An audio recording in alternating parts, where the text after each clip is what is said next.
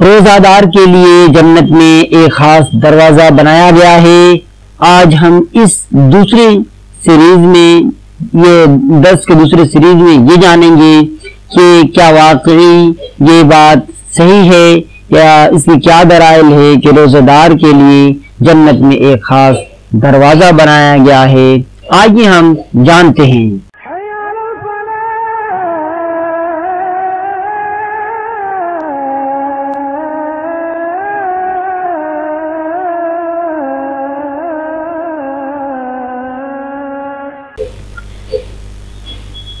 دلیل نمبر ایک ہے کہ حضرت سہل بن سعد رضی اللہ عنہ سے مروی ہے نبی کریم صلی اللہ علیہ وسلم نے فرمایا کہ جنت کا ایک دروازہ ہے جسے ریان کہتے ہیں۔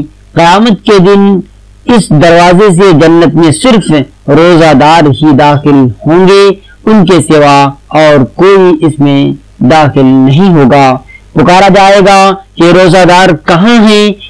وہ کھڑے ہو جائیں گے ان کے سوا اور کوئی اندر نہیں جان جانی پائے گا۔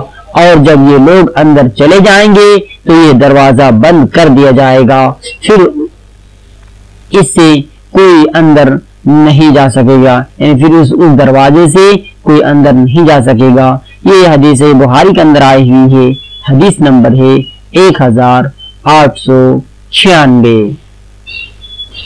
دوسری دلیل ہے حضرت ابو رضی اللہ تعالیٰ عنہ سے روایت ہے کہ رسول اللہ صلی اللہ علیہ وسلم نے فرمایا کہ جو اللہ کے راستے میں دو چیزیں خرچ کرے گا، اسے فرشتے جنت کے دروازوں سے بلائیں گے کہ اے اللہ کے بندے، یہ دروازہ اچھا ہے، پھر جو شخص نمازی ہوگا، اسے نماز کے دروازے سے بلایا جائے گا، جو مجاہد ہوگا، اسے جہاد کے دروازے سے بلایا جائے گا۔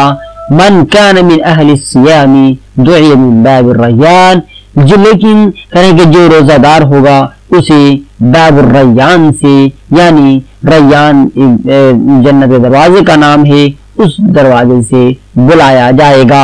اور جو زکوٰۃ ادا کرنے والا ہوگا، اسے زکوٰۃ کے دروازے سے بلایا جائے گا۔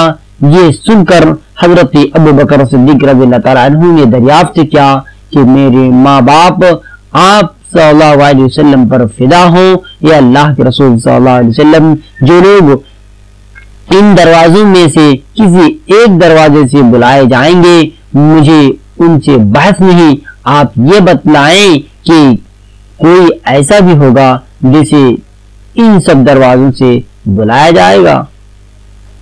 آپ صلی اللہ علیہ وسلم نے فرمایا ہاں اور مجھے امید ہے کہ آپ بھی انہیں میں سے ہوگے یعنی یہ پوچھا گیا کہ کیا کوئی ایسا شخص ہوگا جو ان تمام کے تمام دروازوں سے بلایا جائے گا؟ اللہ کے علیہ وسلم سے یہ پوچھا گیا، تو اللہ کے صلی اللہ علیہ وسلم نے کہا کہ ہاں بالکل، یہ ایسا بھی ہو سکتا ہے کہ ایسا بھی ہوگا۔ اور حضرت وکر صدیق رضی اللہ کے بارے میں آپ صلی اللہ علیہ وسلم نے پیشن گوئی کی کہ آپ انہی میں سے ہوں گے۔ یہ حدیث بخاری بھی کے اندر آئی ہوئی ہے، حدیث نمبر ہے ایک ہزار آٹھ سو ستانوے